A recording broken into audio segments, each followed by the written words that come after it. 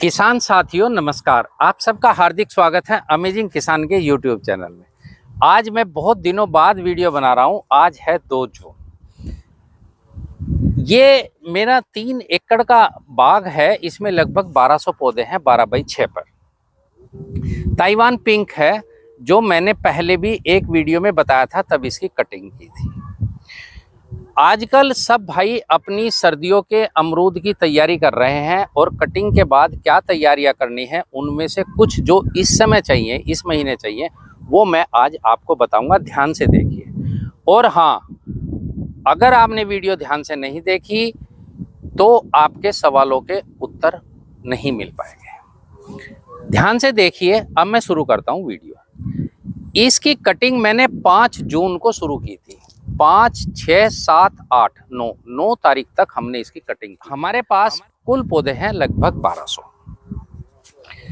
अब आप देखिए, मैंने बताया था कि कटिंग करने के बाद जब आप पानी छोड़ते हैं उसमें तो उसके 25 दिन बाद सभी कल्ले निकल आते हैं। कल्ले से मेरा तात्पर्य होता है कि ये वाला और अगले 25 दिन में आपके इसमें फूल खिल जाएँगे।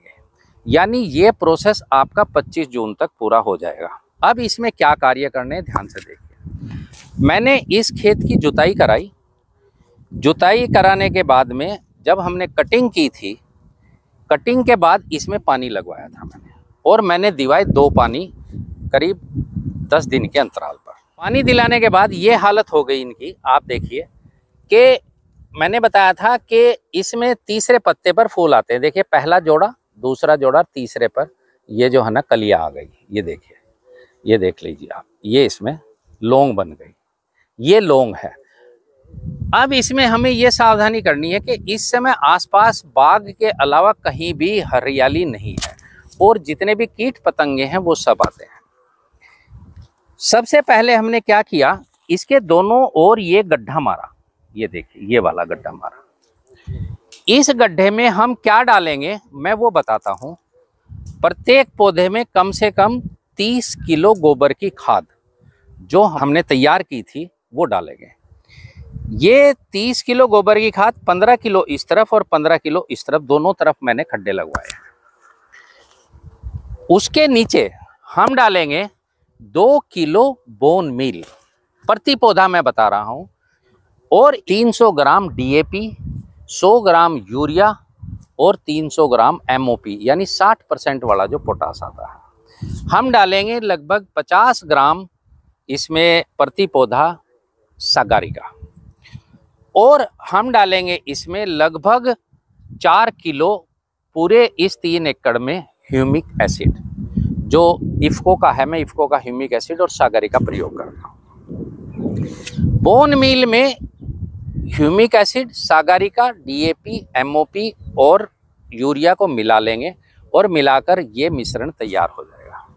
इस मिश्रण को बराबर बराबर, जो ये एक पौधे का मिश्रण हुआ लगभग पौने तीन किलो, आधा इस गड्ढे में डालेंगे, पहले आधा इस गड्ढे में डालेंगे। और उसके ऊपर हम डालेंगे गोबर की खाद और फिर खड्डे को बंद कर देंगे। बंद करने के बाद हम इसमें पानी चलाएँगे।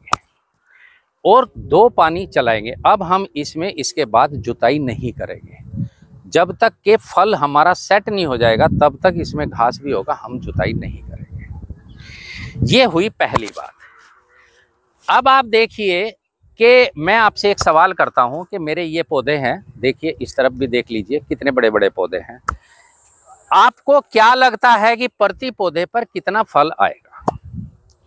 मेरा भी कुछ अनुमान है और मैं इसमें ये अनुमान लगाकर चल रहा हूँ कि मुझे इसमें इस 1200 पौधों से, जो तीन एकड़ में है, कम से कम पाँच लाख से ज़्यादा की मेरी सेल होगी इसमें अमरूद की। वो किस प्रकार होगी, मैं अगली वीडियो में बताऊँगा। किसान साथियों, इस समय हम माइक्रो न्यूट्रेंट नहीं डाल रहे हैं, क्योंकि जो थोड़ा माइक्रो न्यूट्रेंट हुमिक एसिड और सागरिका में होता है, वही काम करेगा।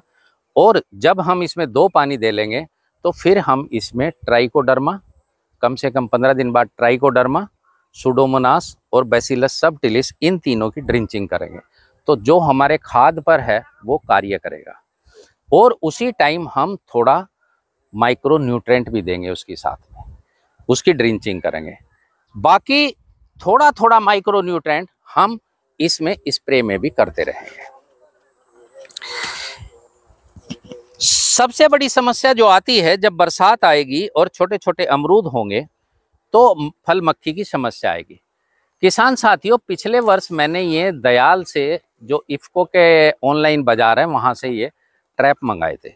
ये लगभग 80 से 90 रुपए का एक ट्रैप पड़ता है वहाँ से खरीदने पर, लेकिन इसके रिज़ल्ट मुझे बहुत अच्छे मिले तो इसी का प्रयोग मैं करूँगा, जब मेरे फल सेट होंगे।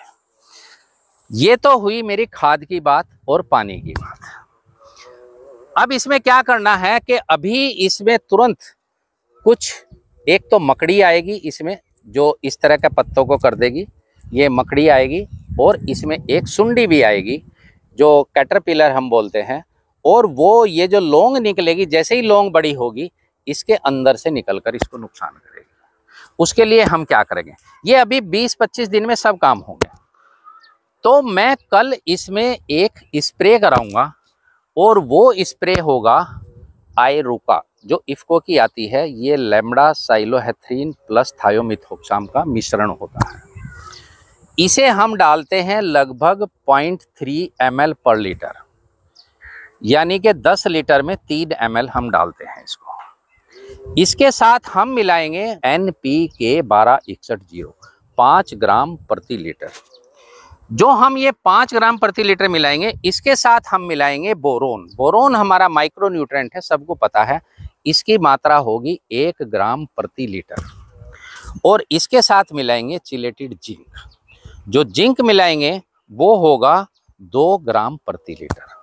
किसान साथियों, इसके दस दिन बाद, जब ये स्प्रे कर लेंगे, इसके दस दिन बाद इसमें से सिर्फ़ आयरू का हटा दीजिए। और इस स्प्रे को फिर एक बार करिए। दस दिन बाद आपको फिर एन पी के बारह इकसठ ज़ीरो दस पाँच ग्राम प्रति लीटर, बोरोन एक ग्राम और जिंक दो ग्राम प्रति लीटर और ये सिलिकॉन स्टिकर, जो ये सिलिकॉन स्टिकर है, जो हमें डालना है इसमें। इसको मिलाकर दस दिन बाद फिर स्प्रे करिए और आप देखेंगे कि आपका बाग पूरा ही फूलों से खिल जाएगा। किसान साथियों, ये जो वीडियो है, इसका जो भी नंबर होगा, इसी के सीरीज़ में मैं अगली वीडियो बताऊँगा इसकी। जो भाई जैविक करते हैं, वो जैविक के हिसाब से अपना नीम का ऑयल डालिए या जो भी खाद आप बनाते हैं, पत्तों से बनाते हैं, किसी भी चीज़ से बनाते हैं, आप उसे डालिए, मुझे कोई आपत्ति नहीं है। मेरा मानना यह है, अगर आपको बम्पर फ़सल लेनी है, अच्छी फ़सल लेनी है तो हमें न्यूट्रेंट किसी भी फॉर्म में डालो, क्योंकि जब वो घुलते हैं पानी में घुल जाते हैं और जब पौधे अपटेक करते हैं, वो आयनिक फार्म में करते हैं। और जब हम आयनिक फार्म में पौधे अपटेक करते हैं तो कोई भी ये नहीं बता सकता कि ये गोबर की खाद से आया है या आपका यूरिया से आया है या फॉस्फेट से आया है। रही बात ये कि जो डीएपी और आपका पोटास होता है, ये पूरी मात्रा में जितना आप डालते हैं, ज़मीन में नहीं घुल पाता। इसको घोलने के लिए ताकि ये पूरा पौधों को मिले हम प्रति एकड़ एक लीटर एनपीके कंसोर्सिया वो पानी में देंगे और लगभग तीन पानी पर देंगे, यानी मैं तीन लीटर प्रति एकड़ इसको दे चुका हूँ उससे जितना भी अघुलनशील जो आपका खाद पड़ा हुआ होगा, पोटेशियम होगा या पोटाश होगा, वो सब आपके पौधों को मिल जाएगा। किसान साथियों, ये है मेरा एक प्रयास और मैं इसकी पूरी जितनी भी गणना है, सब आपको बताऊँगा कि कैसे कैसे बाग डेवलप होगा। जब तुड़ाई होगी, तब भी बताऊँगा, इसका भाव भी बताऊँगा और कितना निकला यह भी बताऊँगा। लेकिन इस पर अपने विचार कमेंट में अवश्य बताएँ। हाँ जो मैंने बताया है, अभी वही कार्य करने हैं। उसके अलावा जो भी आप करते हैं, वो अपनी सुविधा अनुसार सभी करते हैं। मैंने ये किया है और इसमें से अच्छी फ़सल। मेरा टारगेट है कि कम से कम हमें एक लाख प्रति एकड़ की बचत इस बाग से होनी चाहिए। देखते हैं कितनी होगी। इसी के साथ मैं विदा लेता हूँ। धन्यवाद, नमस्कार, जय हिंद, जय भारत, वंदे